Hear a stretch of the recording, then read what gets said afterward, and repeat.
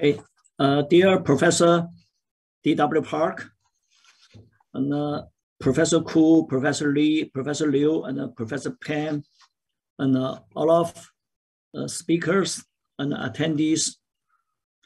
It is my honor welcome all of you to join QICC and the TCT-AP joint session.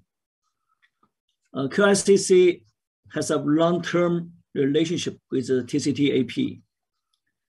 So this year, this session, uh, we have four uh, wonderful speakers. We will have a very good discussion. So wish a very successful session and also wonderful TCT-AP 2022. Welcome, all of you. Thank you. Thank you, Professor Wang. So, and uh, this QICC and TCT-AP joint session is uh, the major topic is about the minimalist TAVR and next day discharge. This is the absolutely trend of the TAVR practice. I'm gonna uh, first introduce the first speaker and the Professor Jian Wang. Every know everybody know well. He's an international, worldwide famous uh, interventional cardiologist. He is now editor-in-chief in JACC Asia, the second affiliate hospital of J, uh, Zhejiang University, China. Uh, he will be talking about the next day discharge after TAVR and result of a smart TAVR from China. And the Professor Wang, please. Okay, uh, dear colleagues and friends, it is my great honor to introduce you uh, our recently work on next day discharge. Uh, inspiration from Smart TAVR study. I'm Wang Jian from Second Affiliated Hospital of Zhejiang University School of Medicine. Uh, here is my disclosure.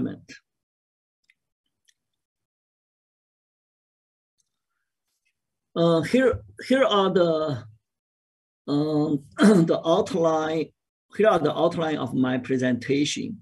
The first topic I'm going to present is about next day discharge, uh, the current situation and the problems. Uh, so firstly, we can see in this slide, here are three clinical pathways uh, to shorten the length of staying after TAVR procedure. So as we all know, uh, the famous 3M TAVR uh, faster TAVR and the Piedmont heart clinic pathway. So therefore, the uh, the tendency of a TAVR in future uh, is the next day discharge. Uh, however, there still remain uh, some questions for the next day or early day discharge. Uh, we can see the data from the nationwide readmission database published in American Journal of Cardiology. Uh, the readmission rate was up to 10, almost 10% after TAVR procedure. Uh, and 16% of these patients hospitalized uh, for the for the arrhythmias and the complex uh, complete heart block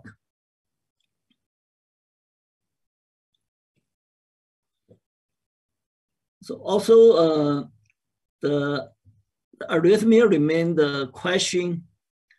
Uh, we have some ambulatory electrocardiogram device to monitor arrhythmia uh, after the TAVR procedure.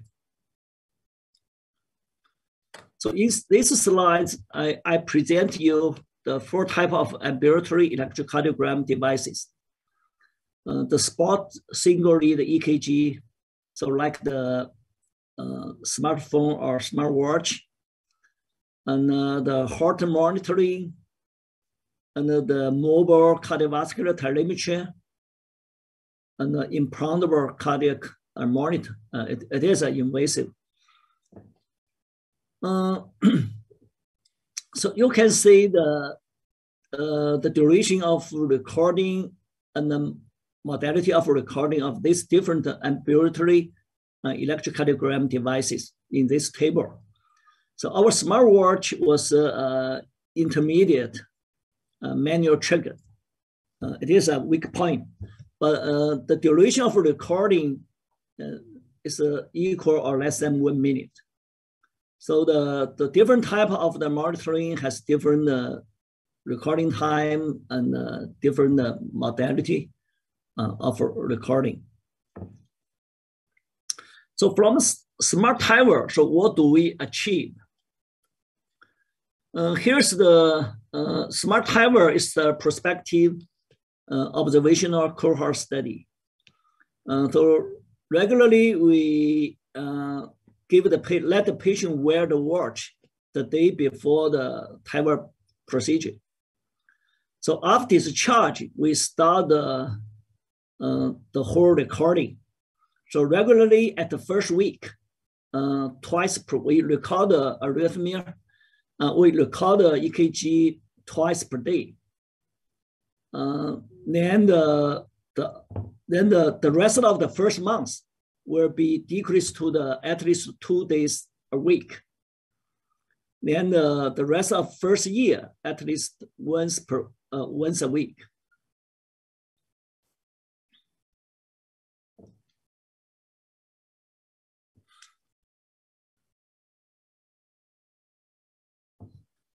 So you can uh, search the detailed information of our study in the clinical trial following the, the clinical trial number. Uh, actually, uh, initially we uh, we selected uh, 112 patients. Uh, some patients were in, were excluded because of these following reasons. At last, the total enrolled number is 100 patients. So all of patients complete 30-day uh, follow-up. Uh, here's the basic characteristics uh, of these patients. So we can see here, the average age is around 73 years. Uh, male uh, is a, a, little bit dominant compared with the female. Uh, here's the BMI and STS score is average is, is around the four, around the four. Um, about five five percent of patients uh, before the TAVR procedure already have uh, RBBB, and two percent of patients uh, have the LBBB before the TAVR procedure. So first de degree AV block is around 10% before the TAVR and uh, atrial fibrillation and around 14%. Uh, here's the procedure data and the in-hospital uh, outcome. So we can see the most of our patients receive the self-expanding uh, device, only less than 10% receiving balloon expandable device. So here's the pre-dilatation rate and the post-dilatation rate. Uh, uh more than 50% of patients were uh, among the 100 patients. So among, among the 100 patients, more than 50% of, of patients were discharged the next day, and uh, uh almost uh, more than uh, almost 82% of patients are dis, were discharged at the early day discharge plan. It means the less than three days. So we can see here the arrhythmia and the outcome about the arrhythmia, we can see uh, is uh, the most, ca- most cases occurred uh, less than 10 days. So here's the bradyarrhythmia events. So usually less than what occurred less than one, uh, less, than, less than seven days, one week. So this is the LBBB events. So here's the uh, arrhythmia events.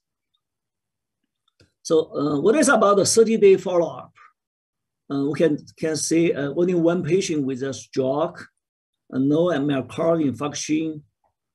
Uh, rehospitalization rate is 11%, and the pacemaker implantation is 4%. So high AV block, 6%, third degree AV block, 5%. 5%. Uh, the precision LBB, 16%, but the, uh, the total LBB is 48%. So new onset atrial fibrillation is 4%. Uh, here is the from the uh, smartphone recording, we, we can evaluate the patient's the number of steps uh, they are uh, accessing uh, status. their heart rate and their oxygen saturation change with the time. So we can see uh, here, here's the, the tendency in the first month, at the first month about heart rate, about daily sports, uh, about oxygen saturation.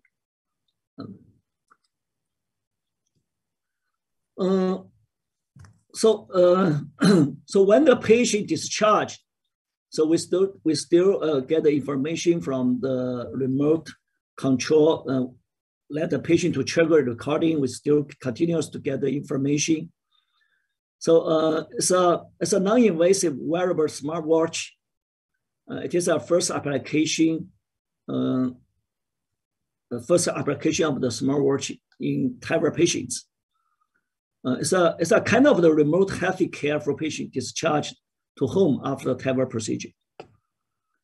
Uh, here's uh, the this slide uh, emphasizes the conduction disturbancy uh, with the time after the TAVR procedure. So we can see here uh, at the one week, second week, and the third week, and the first week. So the different type of the AV block. also, we we had two cases uh, to the emergency cases in SMART trial, uh, SMART TAVR trial. So one is the patient got a ST depressive, very severe ST depressive. So um, got a ST, got a uh, angina. So, so we let the patient do the angiogram. Uh, there's there are still some uh, limitations for the smart trial. It's a because the watch, the the Huawei watch is a is a manual triggered recording. Uh, the data is coming from the single center, so we it's not an RCT study. We need an RCT study. maybe we can provide a better evidence. So conclusion: uh, near 50% of patients develop ARBBB in the first week after TAVR. Uh, so the high, uh, high degree and complete heart block occur in 6% of patients.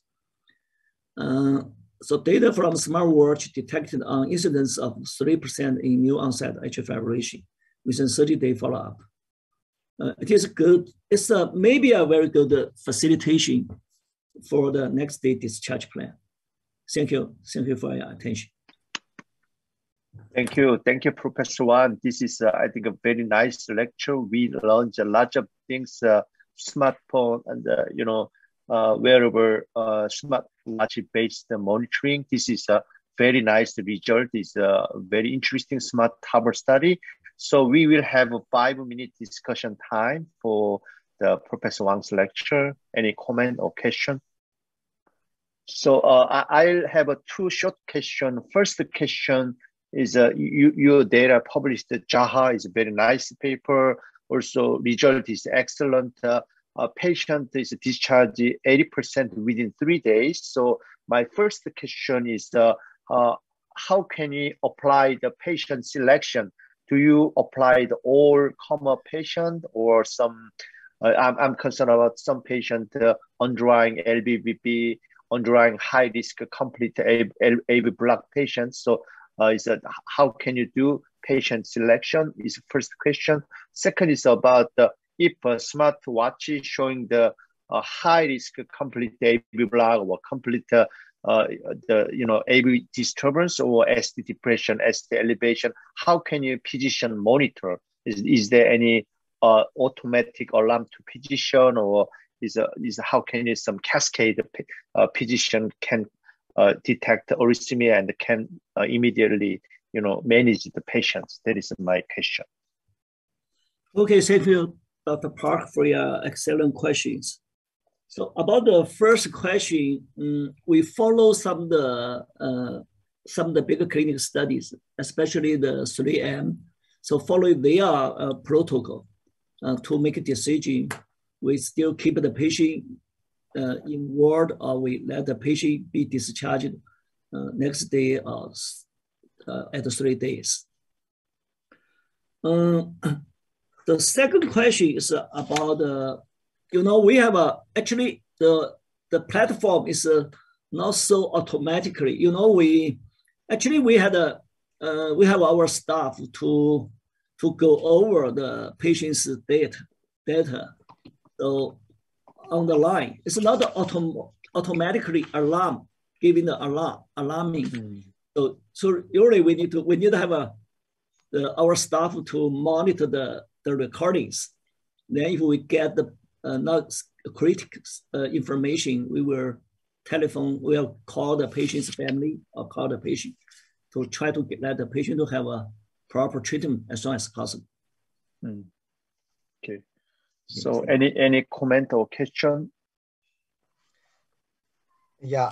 So uh, just for the inclusion criteria of the patient, we just uh, include the elective transfemoral, mm. yeah, TAVR per patients. Yeah, the patient is just uh, uh, relatively stable, and uh, and all of the patients and the family, they write the consensus. Yeah, they can capable, they can be capable of to finish to manually trigger the, the wearable device. Yeah. Mm-hmm. So yeah, just in our uh, in our study, all of the patient and family they can quite work quite well with the device. Yeah, and then we can collect the data and the, the follow up rate is one hundred percent. Great, great. This all of the procedure were were were transfemoral approach. Transfemoral. Okay. Okay. Dr. Pat, there, do you, uh, based on your, uh, I, okay. You, go ahead, uh, please. Yeah, Dr. Pat first. Okay. Yeah, uh, I I did not very uh, know the smartwatch, and, and I just have question. Uh, uh, do you think it's uh, uh, accurate enough for the smartwatch to, to detect to detect complete AVB? Well, I think it's quite good. The actually the recording, you know, we print out, we see the the quality of the single, but actually it's a, it is a single lead EKG, but the, the quality of the recording is is very good. It's very good. Mm. Okay. The weak point is is a single single single line, single, single channel. This is a limitation. yeah, they have the study of the comparison of the single leaflet with the normal EKG. Yeah, just mm. before the procedure yeah, mm. before the study. It is good for the recording the arrhythmia. It's good, mm. including the uh, AV block or the afibrillation, mm. ventricular ectopics. Mm. Yeah. Okay, Professor An, do you have a question? Actually, I have the same question.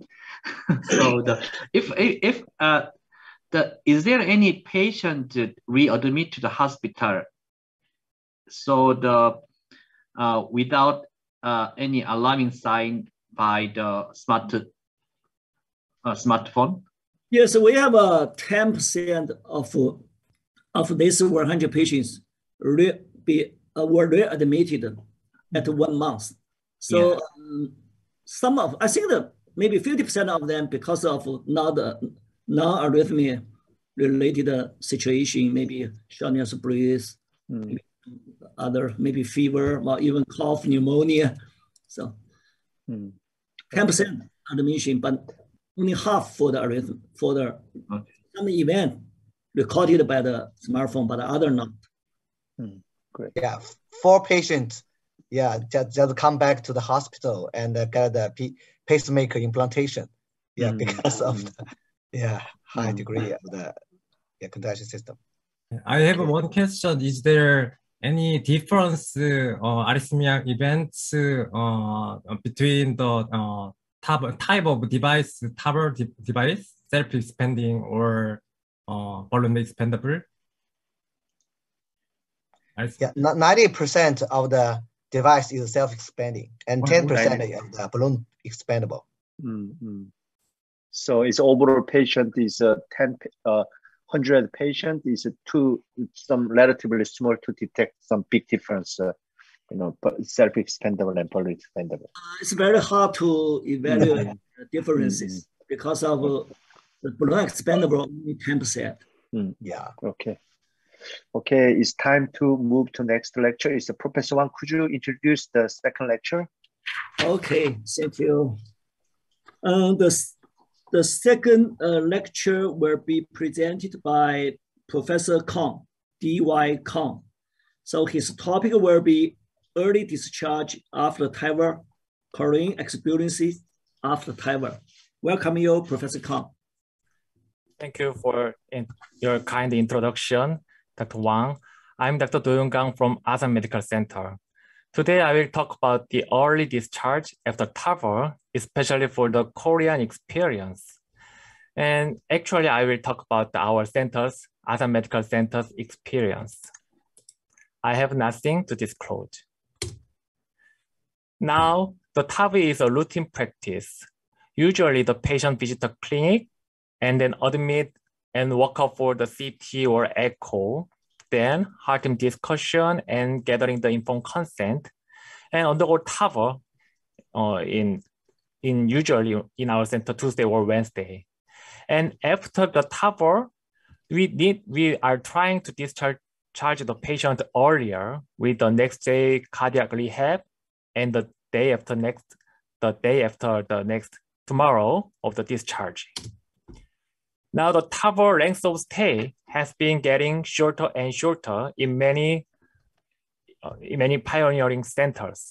Early discharge is known to be safe, and also next day discharge is very uh, popular in many Caucasian, many Western centers. In 3M study from the Vancouver St. Paul Center, 411 patients underwent TAVR and in 3M TAVR patient, 327 patients could underwent the next day discharge. And there was no difference in outcome if the patient underwent next day discharge in selected patient.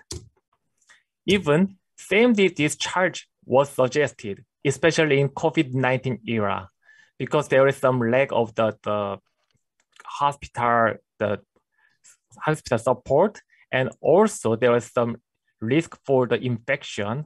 Many centers tried to discharge the patient in the same day. In recent report in the US, 29 patients could be safely discharged in the same day. However, in Korea, especially in Asan Medical Center, still we did not perform the same day discharge.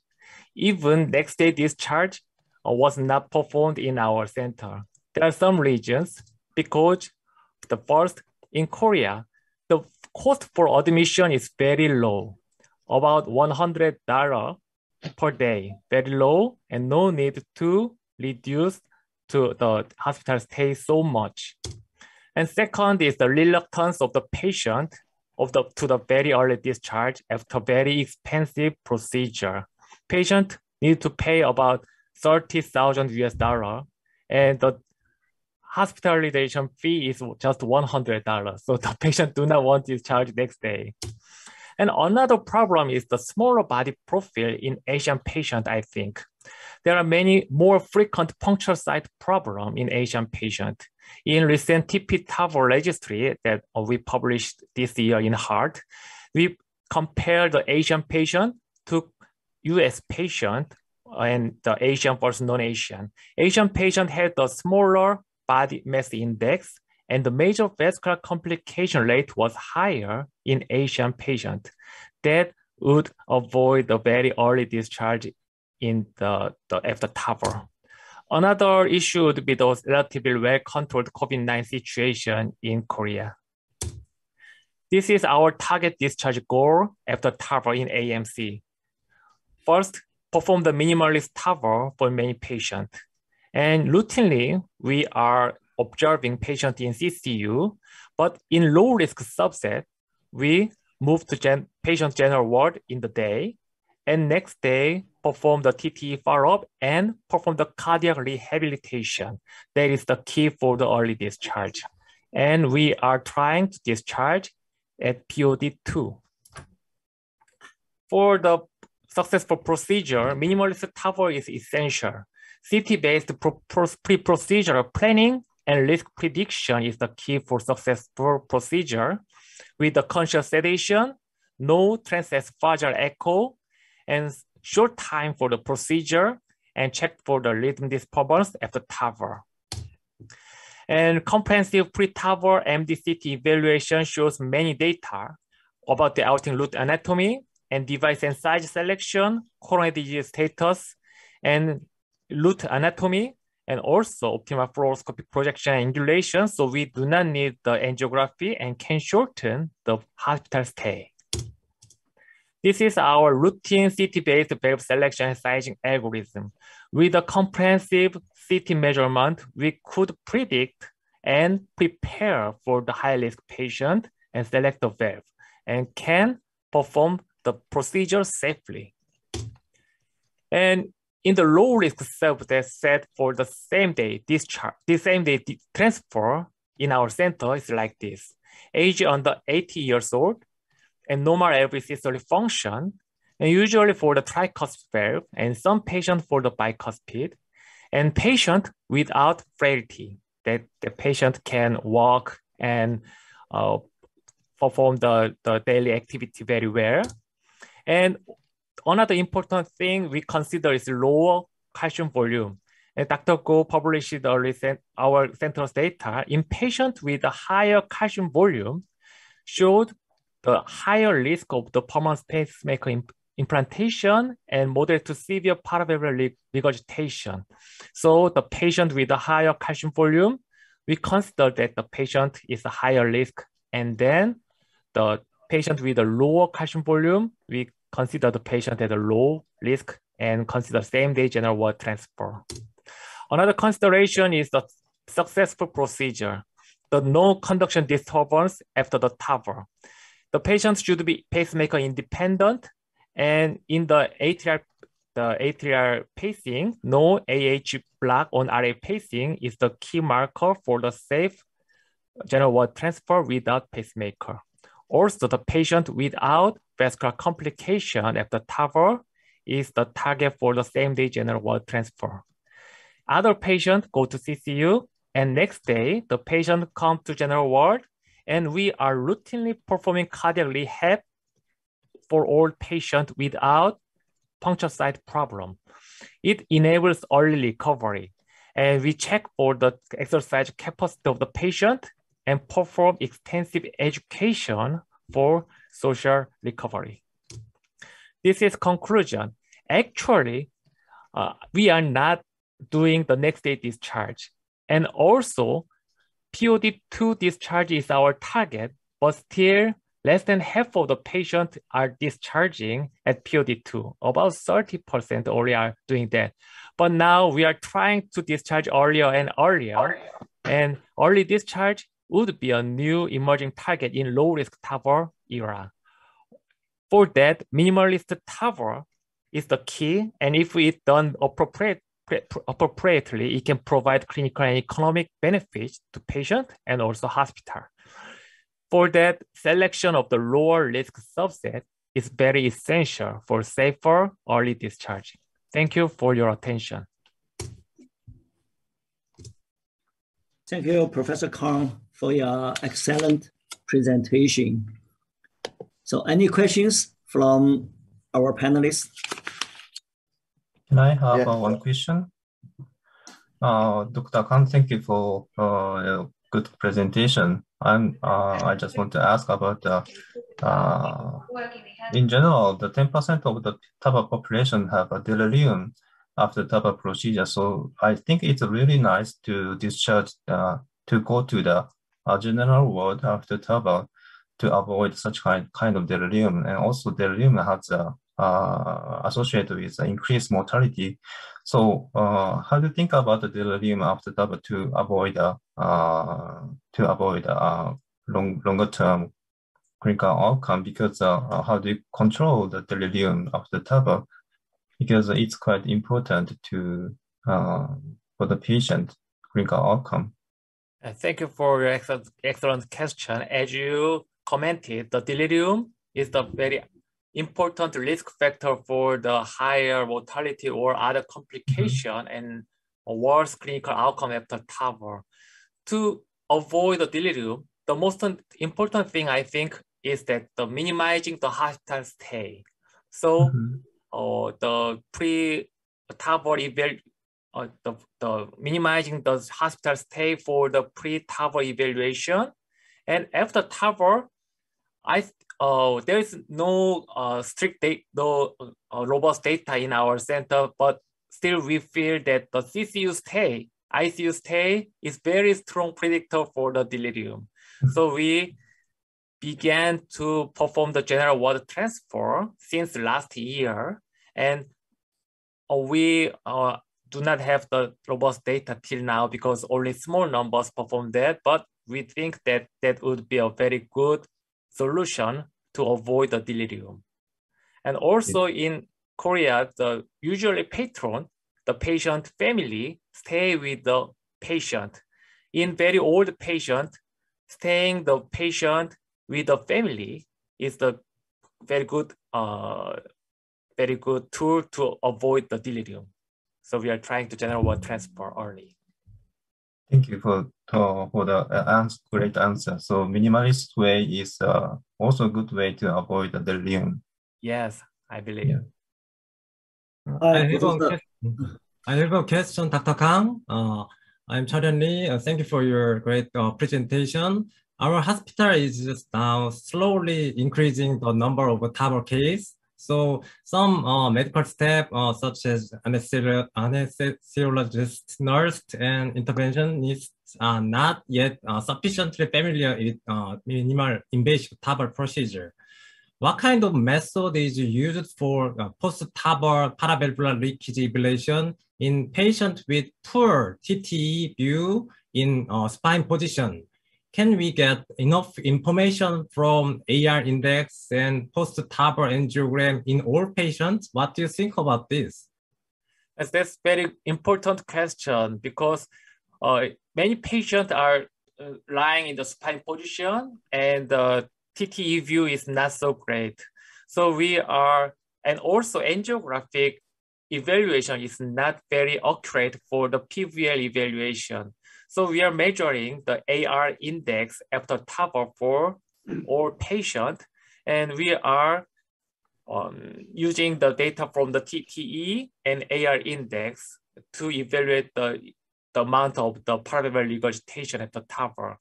And I believe that that worked so well in our center and the, the benefit of the minimalist approach would be higher to evaluate the patient with the TEE. So we are like we are uh, using the AR index.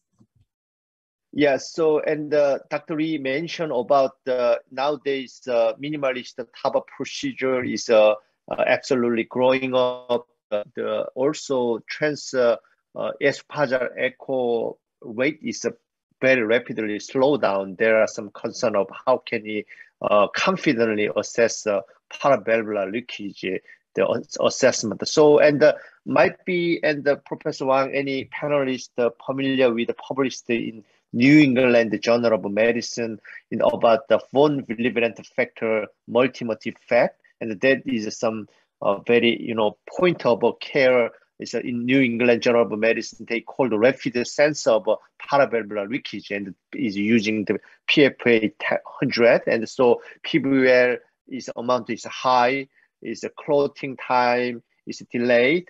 If you control the well PVL clotting time within five minutes is shortened, is they are suggest some a point of care assessment would be helpful. There was a you know looking at the new NEJM is very high impact factor. Now they uh, investigator doing some clinical trial targeting 1,000 patients. One arm is conventional arm, one arm is they they do it's a five minute uh, repetitively uh, evaluate point of care they assess uh, to evaluate the PVL amount. How do you think about that? Would be some work or some too much theoretical?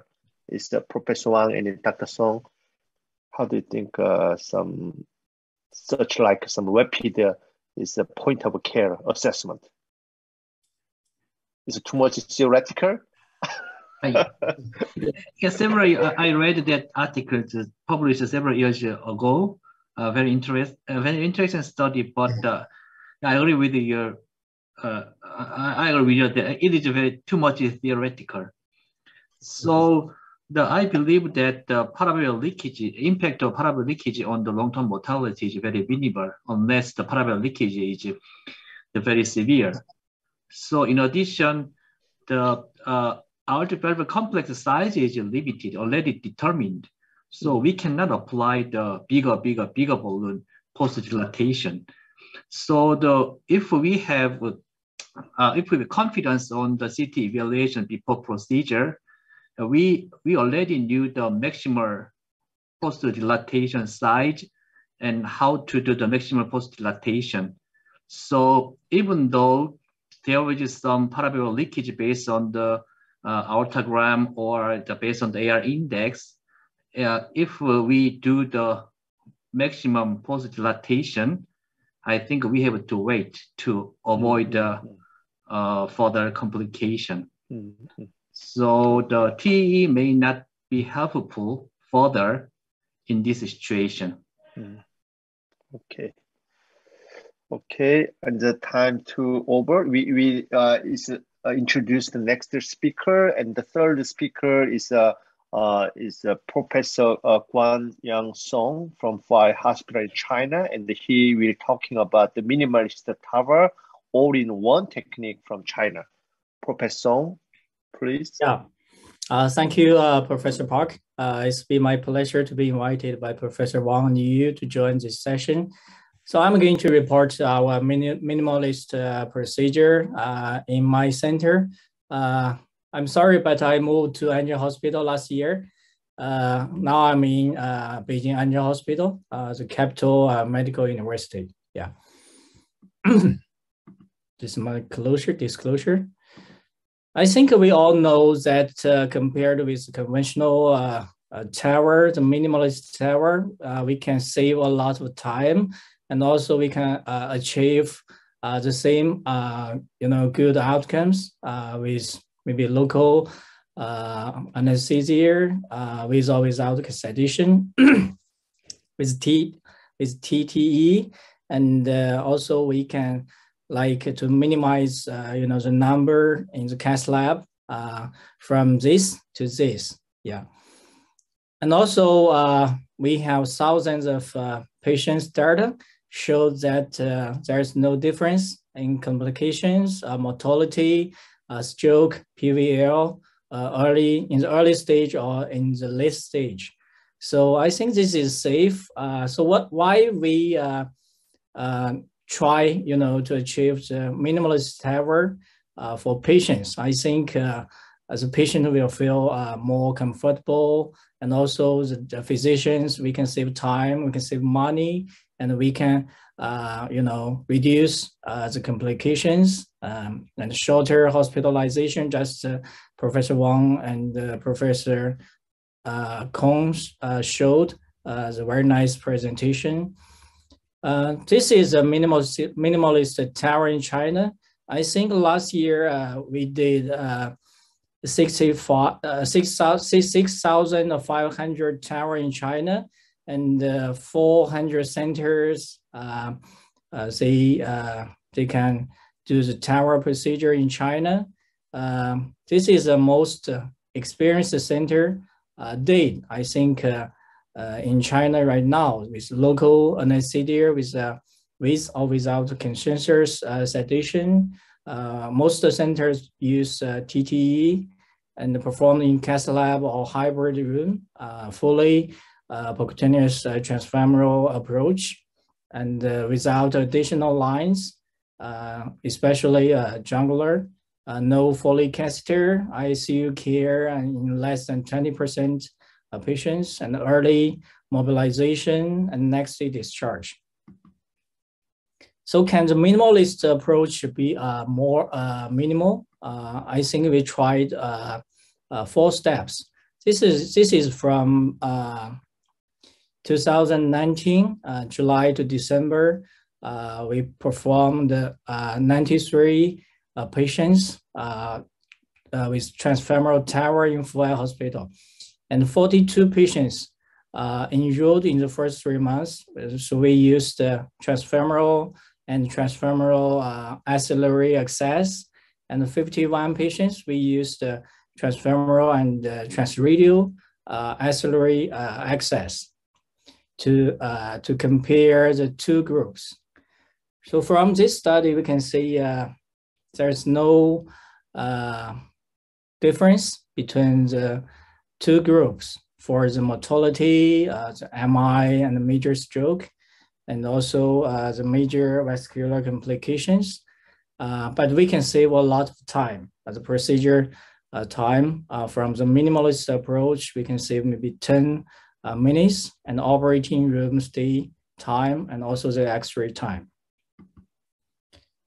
Uh, if you if we uh, want to use a transradial uh, approach, I think the best way is to use echo, you know, to guide our puncture in the main axis. This is how to find the bifurcation, and we can see clearly uh, the anterior wall of the artery, and also we can see the puncture uh, point here.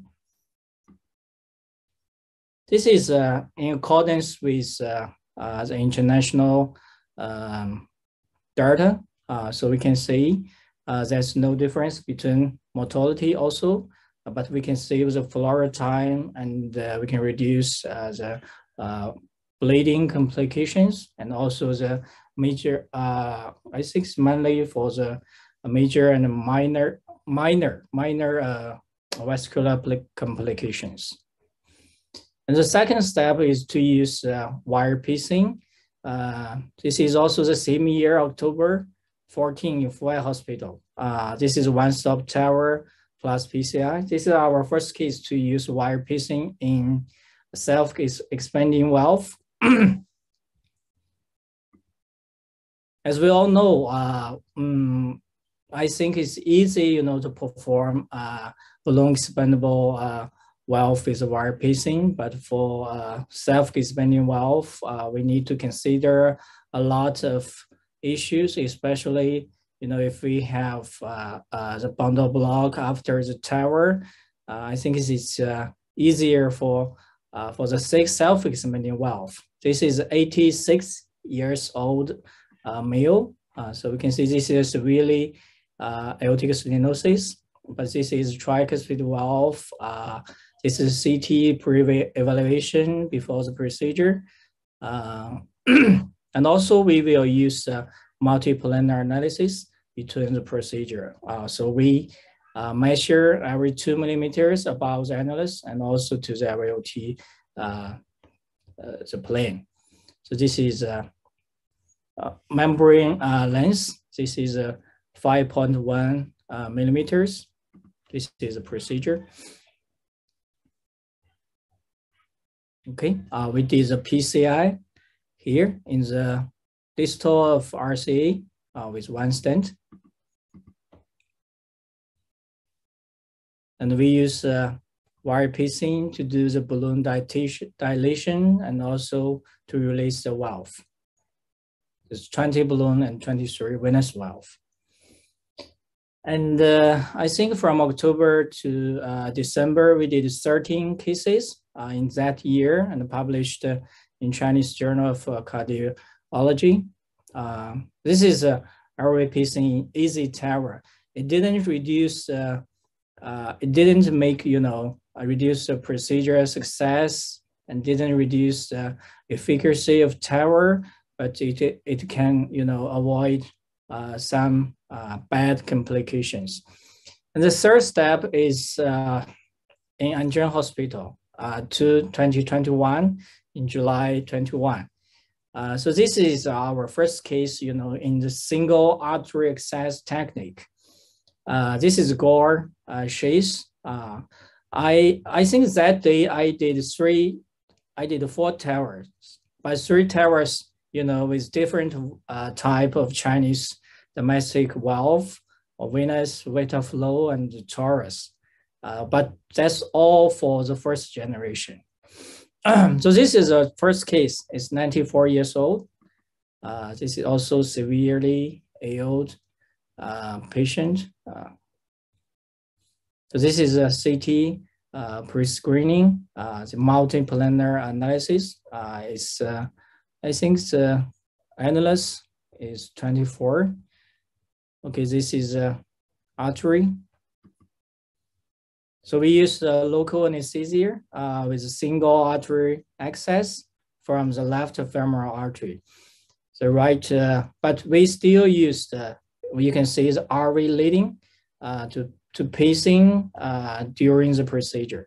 So this is a uh, angio before the procedure and uh, okay. So this is a pre-dilation with 20 balloon and Taurus Elite, uh, elite uh, 23 valve. Okay, this is a second generation. So we uh, adjusted the position before uh, during the procedure. okay, uh, but you can see uh, we don't have the transradial for the second access, access and also another transfemoral for the uh, for the secondary uh, access. We only use one access from the uh, left uh, uh, femoral uh, femoral artery.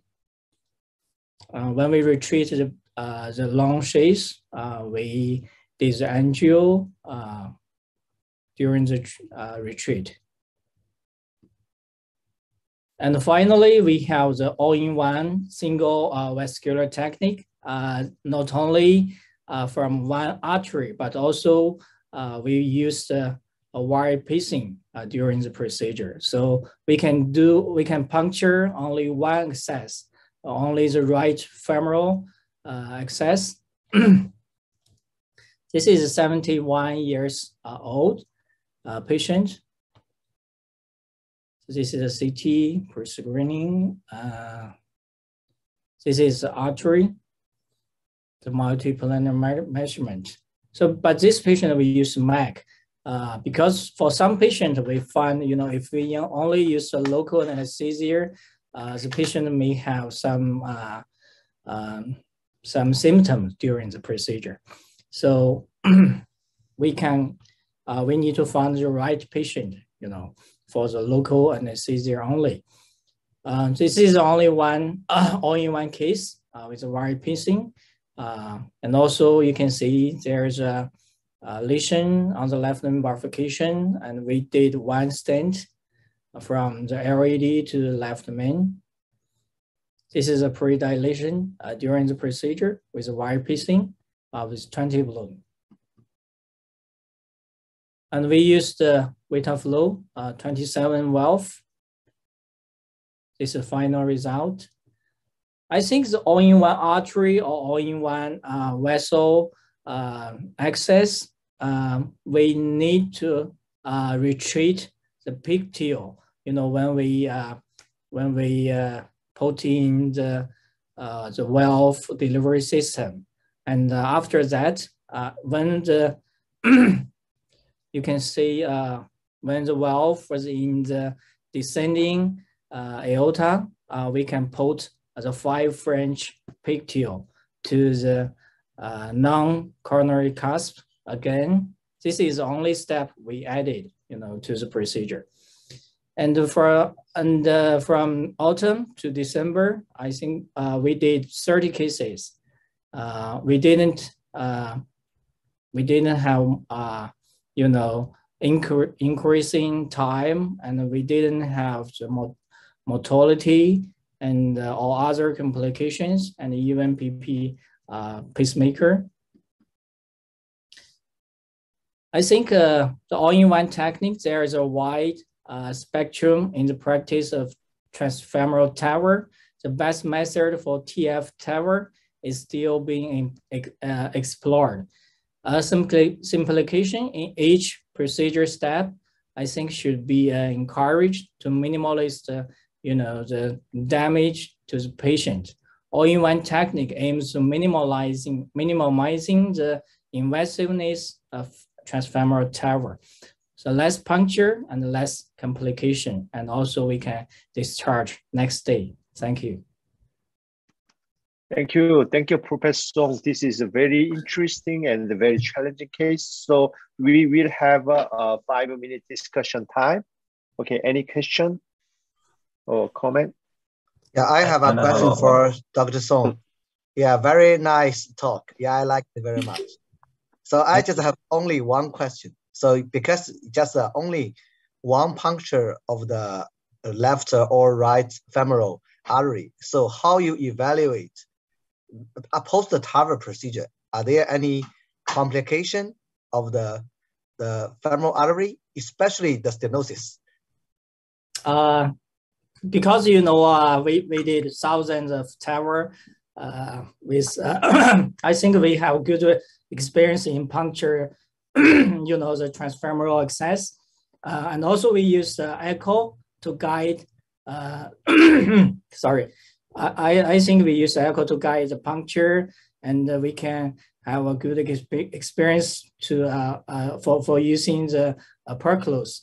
Uh, we didn't we didn't have for the 30 cases we didn't have the uh, vascular complications uh, during the procedure and also when we retreat uh, the big sheath and we will do the angio at the same at the same time to check if there is a you know dissection if there is a, a perforation or some some kind of you know complications before we end the procedure yeah Great. Okay. okay. so you will check the the echo uh, ultrasound. So you will check it post the procedure, or do you just uh, use the pulse? Yeah, you just the uh, pulse difference, just the, the up or down of the punch site.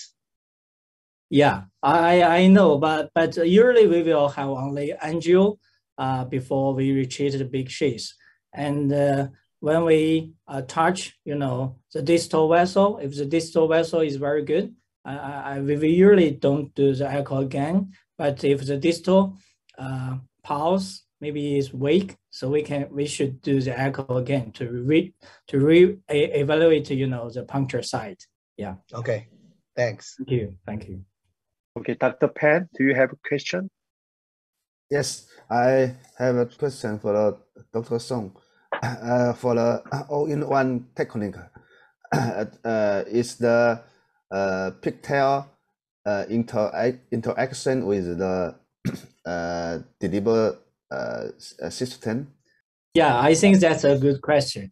Uh, so we worried about that uh, before we do the procedure. Um, but after we use the all-in-one technique, uh, because you know uh, when we do the balloon dilation, uh, we use a pigtail inside and to, to do the pre-dilation angio, right?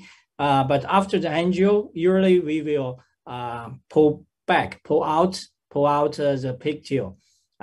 Because, you know, when we go through the valve, we don't have enough space for both catheters. So we, we use a capsule. When the capsule is only, the capsule is in the descending aorta, we can, we can put in the pigtail again. So uh, I think we don't, usually we don't have this uh, uh, connection uh, with uh, both systems. Yeah. So you put the pigtail uh, to the uh, Lancaster, Lancaster uh, before you uh, before you uh, send the delivery system? No, no. I mean, uh, I uh, po- I, I will uh, get out, you know, the pigtail after the pre, uh, the pre-dilation. And then we put the capsule in the descending aorta, and then we put the pigtail again. Uh, and usually that time, uh, they will not, you know, uh, uh, have influence uh, for, for the both system. Yeah. Dr. Lee, you have a short question? I have a okay. short question to you. you. Uh, what kind of patients uh, do you think are best candidate or worst candidate in uh, for uh, all-in-one uh, TAVR uh, in low risk or high risk, and every or uh, every patient uh, candidate for uh, single vessel TAVR? Okay, I, I, think that's a good question. Uh, and usually uh, we did the CT uh, pre-evaluation and to choose um, maybe the patient is not uh, uh, uh, uh have, have very heavy calcium, but when we have experience after, especially after 20 cases, and usually now this is a routine procedure in my center. Yeah. Great. Okay, so time is some delayed. It's Professor Wang. Could you introduce the last speaker? Okay. The next speaker will be Dr. An uh, from Asan Medical Center, Korea. Uh, his topic will be uh, minimalist TAVR experience from Korea. Welcome you, Dr. An. Thank you, nice introduction. Dr. Wang, my topic is minimalist TAVR experience from Korea, actually Asan Medical Center. What is the current status of TAVR where we are?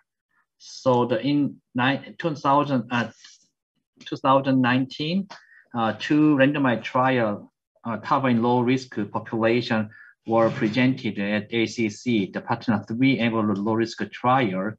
So the from the inoperable population to the low risk population, the we had we had a serial randomized trial. So the, in the low risk population, we have a three randomized trial.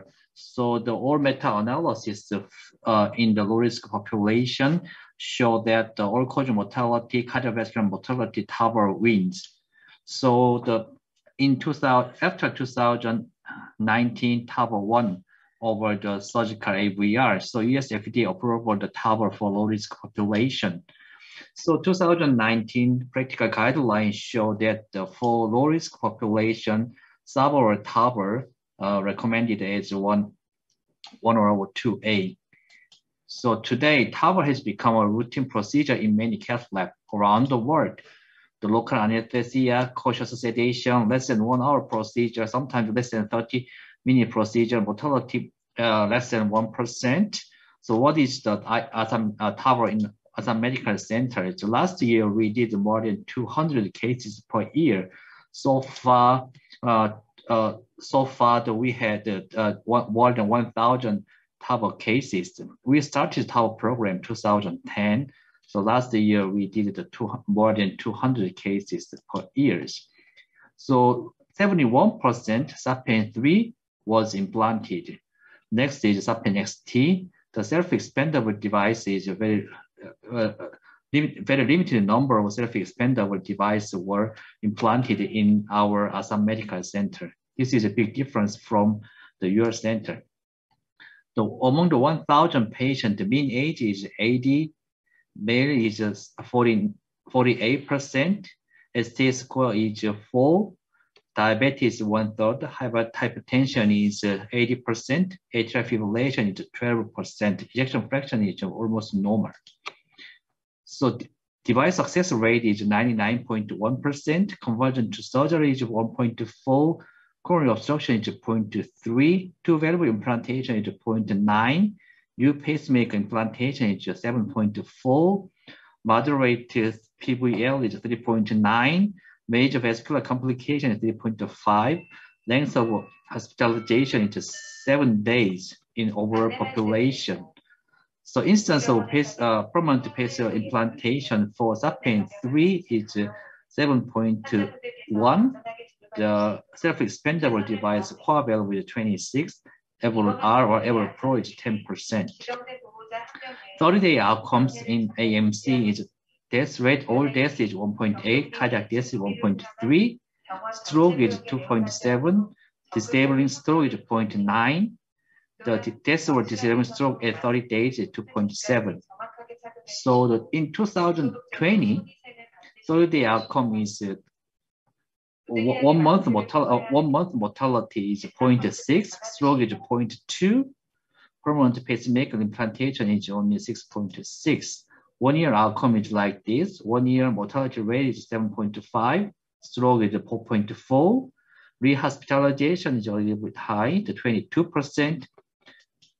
And overall AMC outcomes, one year uh, at at one month, overall mortality is 1.8, major stroke is 0.9, vascular complication is 3.5, uh, permanent pacemaker is 7.4, moderate to or severe PVL is 3.9. For the 2020, the overall uh, procedural success rate is increased, the overall clinical outcome is improved.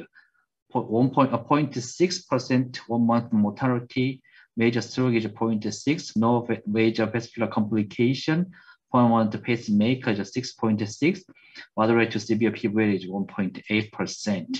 What's the difference in other medical center TAVR? We had a strong, very strong, perfect collaborated heart team. Uh, actually, heart team is working in other medical center. In addition, we, we did the contemporary minimalist approach, simplified the procedure.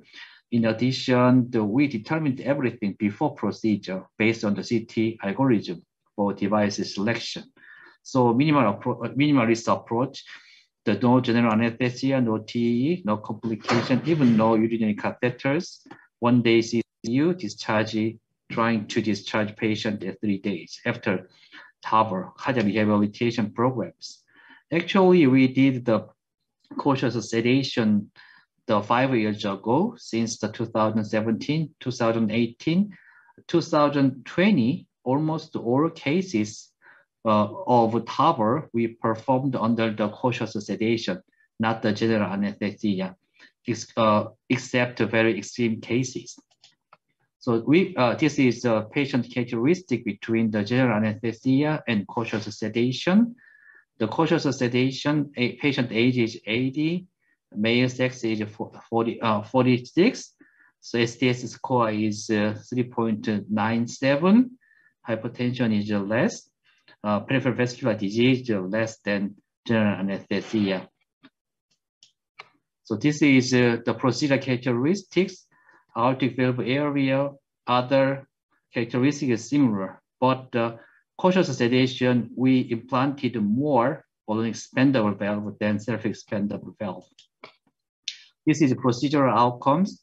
To compare to the general anesthesia, conscious sedation population, device success rate is higher, 99.9. Conversion to surgery is lower. Coronary obstruction is similar, but new pacemaker implantation is lower. Uh, PVL is lower. The major vascular complication is lower. The length of stay is six days, lower than uh, less than the general anesthetic patient. 30-day outcome is also better in the conscious sedation population, all death is uh, only 1.0, cardiac death is 0.7, stroke is 2.2, breathing risk is also smaller than the general anesthetic patient. It would be uh, due to the different characteristic between the general anesthesia and conscious sedation population. So compared to the all uh, population, the general uh, minimum this the general uh, conscious sedation population, one month mortality is only one percent, major stroke is 0.7.